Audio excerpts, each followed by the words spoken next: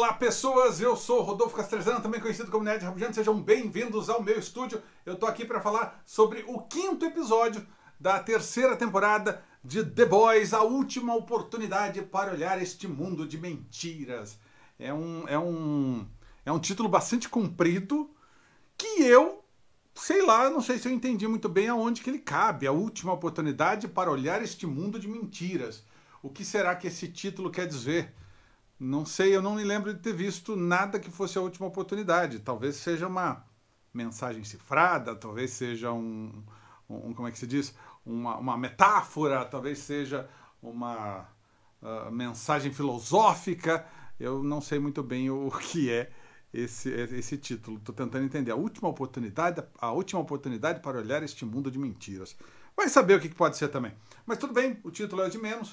Uh, esse episódio de The Boys ele serve para introduzir o Soldier Boy. Aliás, antes de, de, qualquer coisa, obviamente, é muito importante eu falar, é, vai ter spoiler nesse vídeo, porque eu vou comentar um pouquinho sobre o que aconteceu no episódio e comentando sobre o que aconteceu no episódio, eu vou acabar fazendo spoilers, não tem como não fazer.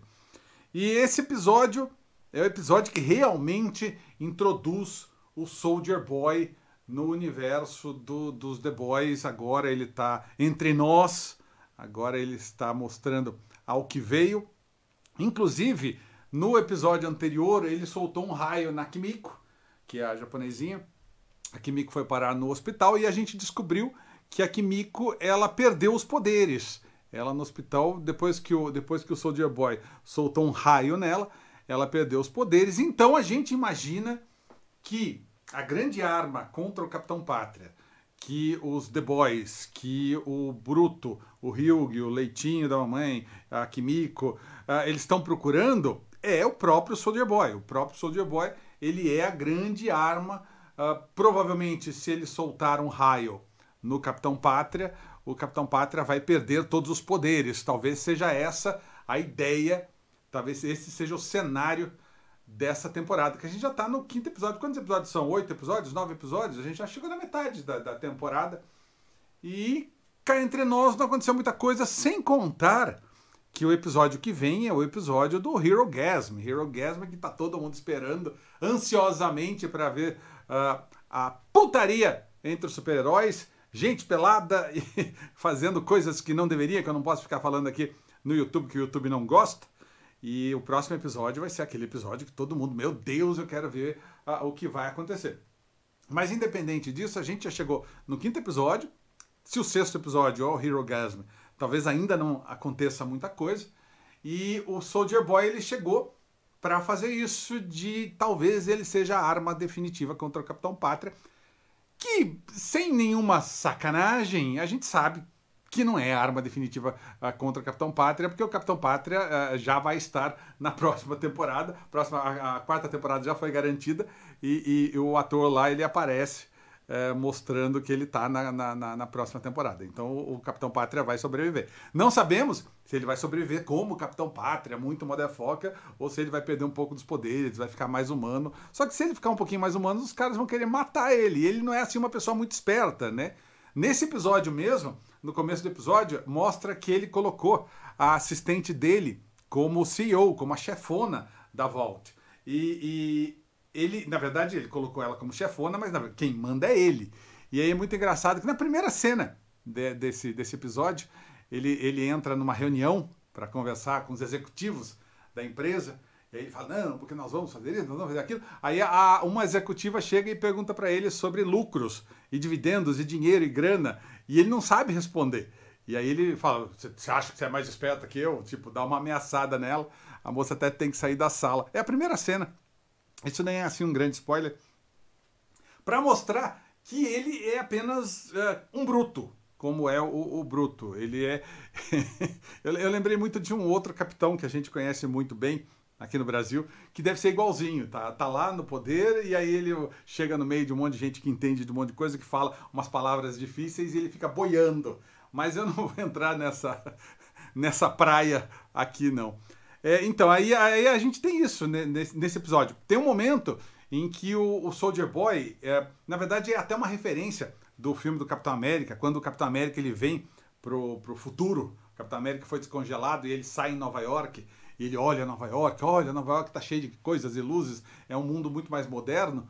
Uh, tem uma brincadeira com o Soldier Boy, que o Soldier Boy sai no nosso novo mundo, depois dele voltar lá da Rússia, e aí ele vê o um mundo todo diferente. Só que, uh, face às analogias que a série The Boys sempre faz.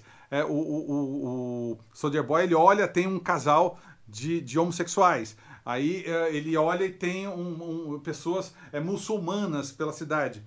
Então ele, ele, é, ele, ele tem um olhar racista, ele tem um olhar é, um pouco mais crítico, um pouco, um pouco mais. É um, é olhar diferente do olhar do Capitão América, obviamente, porque não é uma série com o Capitão América. Só que aí ele ouve uma música russa, que tem um cara fazendo uma entrega lá, e ele dá uma enlouquecida, e quando ele dá essa enlouquecida, ele explode. E aí mata um monte de gente. Quando a, a televisão mostra o que aconteceu, a câmera de segurança mostra o que aconteceu, é, o, o, o Capitão Pátria está olhando. E nitidamente o Capitão Pátria está com medo. O Capitão Pátria tem medo do Soldier Boy. Eu acho isso bastante engraçado, isso acho bastante curioso, porque o Soldier Boy chegou realmente para tremer as bases do Capitão Pátria. O uh, que mais que aconteceu de diferente? Uh, o, o, o, Soldier Boy uh, vai encontrar com a Contessa. Tem, um, tem um, uma, uma aparição especial. O Seth Rogen, que é o produtor da série, ele participa como um, um cara que está do outro lado da tela uh, se masturbando é, com, a, com a Contessa. É uma. Quem gosta do Seth Rogen vai achar bastante divertido. Quem gosta do Seth Rogen vai se divertir. O lance da Kimiko ter perdido os poderes tem uma. Tem, quando ela ela está no hospital perdendo os poderes, tem um momento musical que ela, ela sonha com música, né? Já tem alguns outros episódios, tem aquela cena que a menina estava tocando piano, que ela acha que ela está cantando também. Então a, ela, ela se esforça, ela é muda, ela se esforça, ela fala um pouquinho e aí tem toda uma cena musical uh, nesse episódio. Mas no final das contas, é um episódio com muita conversa, muito pouca ação, muito pouca ação, muita conversa, muito pouca ação, uh, muitas referências é, de, de, de, como se diz, uh, o, o, lance do, do, do, do Soldier Boy na cidade. Tem um momento que o Falcão Azul ele está se desculpando porque ele é muito violento contra o, o, os afrodescendentes. Só que daí ele surta e acaba batendo em vários afrodescendentes, inclusive no irmão do Trembala. Tem, tem toda essa conversa do racismo, toda essa conversa do preconceito, toda essa conversa, é, toda, toda essa mensagem. Mas não chega muito longe, não. Realmente é mais um episódio em que as coisas estão se montando para quando chegar o momento da luta do Capitão Pátria contra o Soldier Boy. Aliás, o Bruto se reúne com o Soldier Boy e fala: vamos, vamos nos unir, que agora a gente vai enfrentar. E termina o episódio assim, com o, o Soldier Boy, o Bruto e o Rio com poderes, porque ele assumiu que ele gosta dos poderes, até ele teve uma DR com a Luz Estrela, que ele gosta de ter poderes, que ele se sentiu muito macho com poderes, e aí termina com os três indo para algum lugar, provavelmente procurar o Capitão Pátria. Mas como eu disse, o próximo episódio é o, é o tal do episódio do Hero Gasm. Então não acredito que a gente ainda vá ver ação, muita ação no, no, no sexto episódio de The Boys. Esse episódio, a última oportunidade para olhar este mundo de mentiras. Eu não entendi muito bem esse título. Se vocês entenderam, por favor, deixem comentários. Uh, se, ah, por favor, o, o Geninho está em algum lugar aqui no cenário. Vê se vocês encontram o Geninho. Deixem nos comentários também dizendo sobre o Geninho.